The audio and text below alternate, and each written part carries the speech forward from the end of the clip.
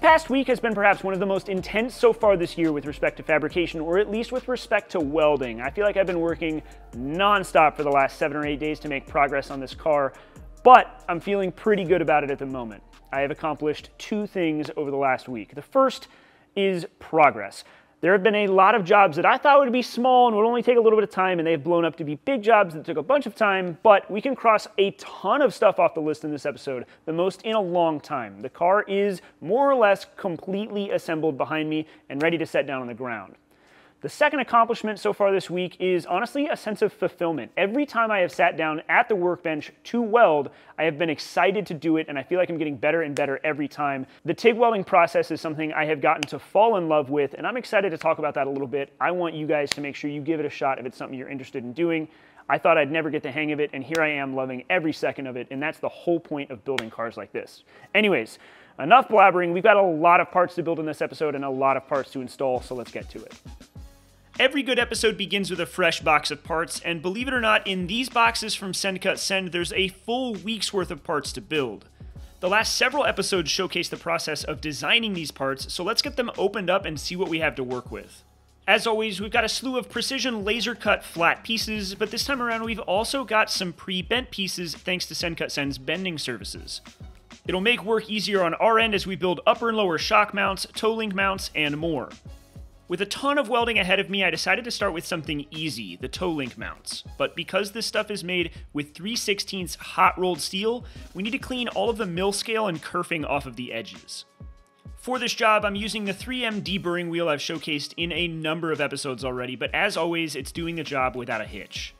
Everything is primed and ready for TIG welding, so it's time to clamp everything into place, square it all up, and get it burned in. Lately, I've been sticking with 330 seconds lanthanated tungsten paired with 16th filler rod, and while I get great penetration, I also get really nice puddle control. I'm no pro yet, but my welds seem to be getting better every time I sit down at the bench. However, these toe link boxes are going to be the last parts that we install in this episode, so I'll show you how they work here in a bit. Now, one of my favorite parts about designing parts in Fusion 360 is that at any point I can open them up from my phone. For the next part, it's a helpful refresher to know exactly how our brackets need to be oriented on our control arm for our lower shock mount. Having SendCut Send pre-bend these tabs can save us a lot of work on the front end, but that's only if you remember to tell them to bend the tabs in opposite directions for opposite sides of the car. I'm not saying that I forgot, but here I am bending some the other way for fun, of course. And as luck would have it, I overbent them just a bit. But because I'm a perfectionist and I want these to be spot on, we're to head over to the arbor press and unbend them just a smidge, using a round tube placed directly over the bend. If we give this a bit of a squeeze with a few tons of force, it'll unbend without any damage to the part, and now my control arms will be a lot closer to identical side to side. Now, if you guys are enjoying the video, leave a like or leave a comment if you've got some thoughts to share. Of course, if you haven't subscribed yet, you should. I want you to be here for when we get this car done, and it's only a matter of time. I spent some serious time getting both rear upper control arms totally burned in, and then I moved to the front lower control arms for the other lower shock mounts. Now, some of you guys are undoubtedly asking, what are these blocks that you see everywhere? And I've shown them before, but as a refresher, these are one, two, three blocks. I've been told by Adam Savage that these are a machinist's best friend, and I have to say I do find myself using them quite a bit. I'm using them here because they are precision machined to three dimensions. One side measures 1 inch, another measures 2, and the final side measures 3 inches exactly. I design all of my parts in CAD with these dimensions and blocks in mind to make fabrication easier. For example, these shock tabs are meant to be 2 inches apart exactly, so I just drop a block between them. The result is parts that are straight as long as you don't warp anything while you weld it. My welding here came out quite nice, I'm pleased with it, and the control arms at this point are now considered done.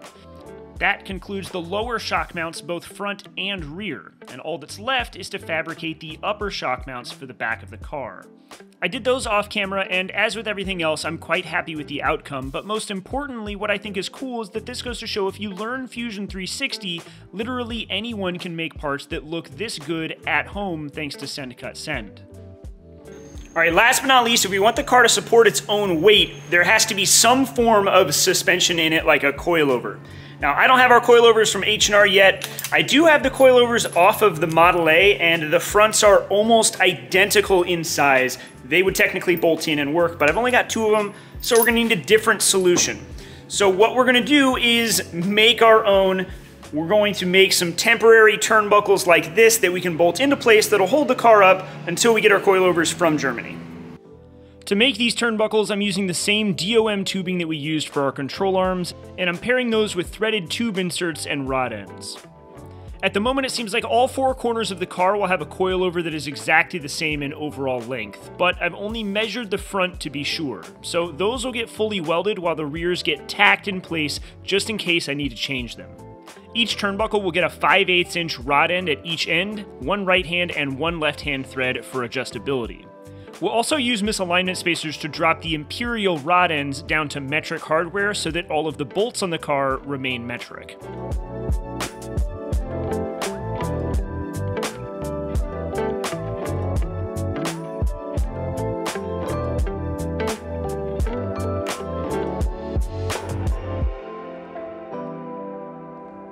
And speaking of misalignment spacers, Brett finally finished the other 16 that we will need in order to fully install our control arms.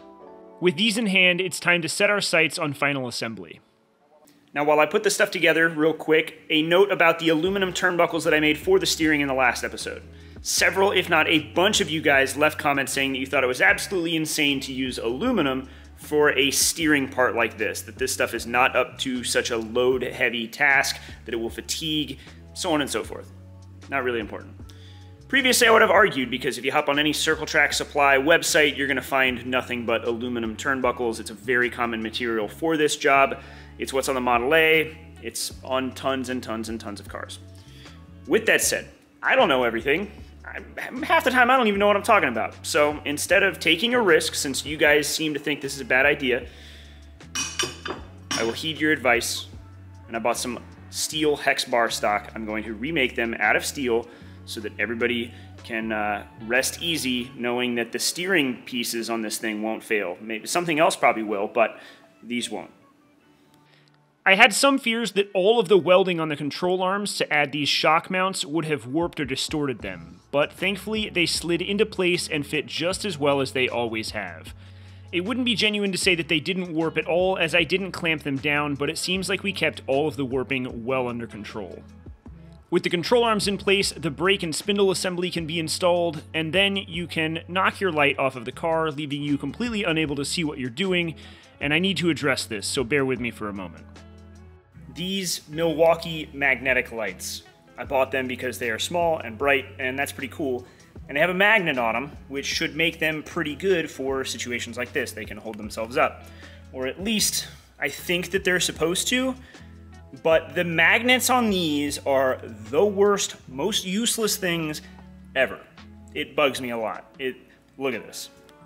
This here is the side of my toolbox, and things stick to it no problem, including the light. And you would think that's pretty useful, except Let's, uh, let's see if it can withstand a quarter dropping on it.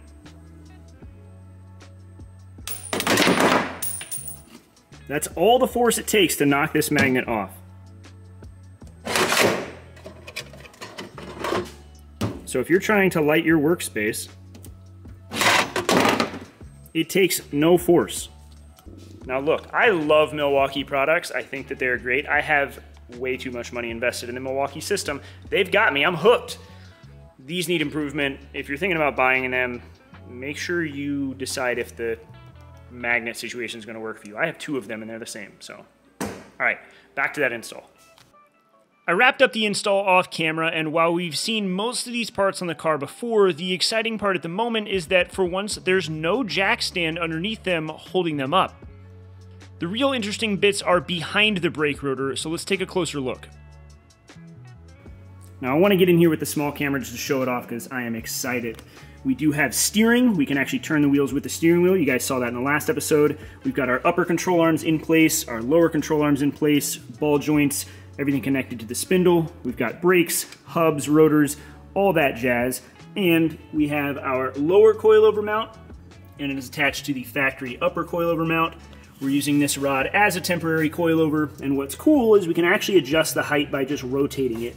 If we reach in here and turn it, by turning the rod, it'll actually thread these in and out since we have uh, right-hand threads and left-hand threads at the top. So pretty easy height adjustment as we kind of fine tune this thing, get everything working the way we want. I am jazzed to say the least. All right, so we're back in the fender well. And as I showed you guys before, this is the original shock mount. We're not gonna use it. Instead, we've got it set up as a cross brace in the engine bay. Instead, we're gonna mount our new shock mount right here in this junction. It's a little bit better lined up for what we need and a bit more structure here. Now we drew this mount in a previous episode, so now that we've got it made, it's just a matter of putting it into place. It'll do something like that right there. So we need to get all of this paint ground off, get everything cleaned up, and we need to do a little bit of welding before we put our part in place. So let's get to it. This time around, it's a 3M clean and strip wheel on the die grinder, and it's making quick work of the original undercoating and primer on the car. With the metal cleaned up and the shock mount mocked up into place, it's time to play the old game of operating the TIG pedal with my thigh while I weld overhead. Several of you guys have suggested that I buy a TIG button for instances like this, which would make this a lot easier to do, and it's definitely on my to-do list, but it's not something that I've done yet, obviously.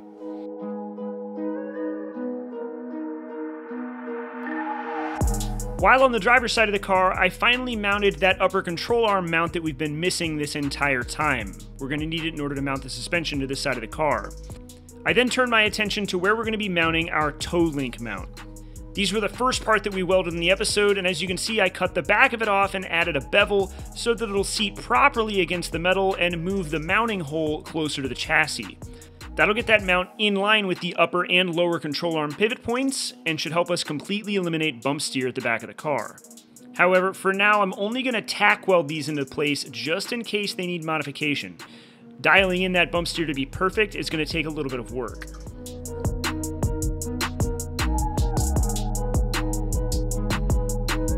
And now for a look at the final result. I've got all of the pieces installed at the back of the car as well, including our turnbuckles in place of our coilovers. I've also got a complete toe link set up in place, which has our rear wheels locked in position. So let's take a closer look. All right, and a quick glance in here with the small camera. We've got our upper shock mount welded into place, nice and sturdy. And we've got our upper control arm with the lower shock mount on it now. Everything is nice, lines up well, everything looks like it should, which is good. And then down below, we've got our toe link. We've got the mount on the inside added in. We've got the arm on the spindle. We can actually turn this toe link in order to adjust our toe. And with a little bit of adjustment, this will keep everything from bump steering in the back, which is ideal. I'm really excited this is all coming together and it's ready to get it weight set on it. So there's still a few things we need to do before we actually pull the dolly out from underneath this thing, but again, the beauty at the moment is the fact that there are no longer any jack stands under the car holding the suspension up. It's now suspended from the car. More importantly, that means once there are wheels and tires on this thing, those will hold the car up. The suspension won't cycle at the moment, but that's not really important right now. All right, so with that, all of the pieces are on the car for the first time. We've got upper and lower control arms on all four corners for the first time ever, which is a pretty big milestone. We've got upper control arm mounts in the back for the first time. We've got upper coilover mounts installed. We've got toe links. We've got tie rods. Everything is in place. Everything's hooked up. This thing is pretty much ready to set down on its own weight for the first time. I don't have wheels yet, so we're gonna use jack stands, but we can still pull the dolly out from underneath this thing, and I'm really excited to do that. This has been a long time coming. That might sound not that exciting, but promise, that might not sound insane to you guys, but it is to me. This is a huge moment. It means that once the wheels show up, we can actually bolt them on, set this thing down, and roll it around. Now, I am waiting on a couple of pieces, otherwise I would just do that in this episode. That'd be a fun place to end it, but I don't have all of the misalignment spacers that I need, and without them, I can't make sure that all of our parts and pieces aren't gonna move around. And I don't have nuts for the upper ball joints. I don't wanna put this thing on its own weight without making sure those ball joints are properly tightened down, or the control arms will slack and the whole thing could come apart, and I don't want that. That's not a good thing. So what we're planning on is for Tuesday's episode to be dragging this car out, putting it in the middle shop, and we'll set it down on jack stands for the first time and pull the dolly out. In the interim, I'm gonna get some parts ordered, and then I'm gonna fly to Georgia, take some time, enjoy some time with some friends, go to a car show. It should be a good time. But when I come back, we're gonna make some more progress, and once it's off the dolly, that means it can go on the lift. Once John gets his V across down, we can get it on the lift. We can start installing all of the uh, underbody aero. Just keep crossing things off the list. So I'm excited for it. I hope you guys enjoyed this episode. I'm kind of bummed not to end it kind of at a finish line, at a milestone. Pretty much every episode kind of ends with a punctuating point, and this one kind of doesn't feel like it has one, although, like I said, all the parts are on the car, so I guess that's worth something. Anyways, I'll quit rambling. I hope you guys enjoyed the episode. Thank you as always for the support, and I will catch you guys on Tuesday next week.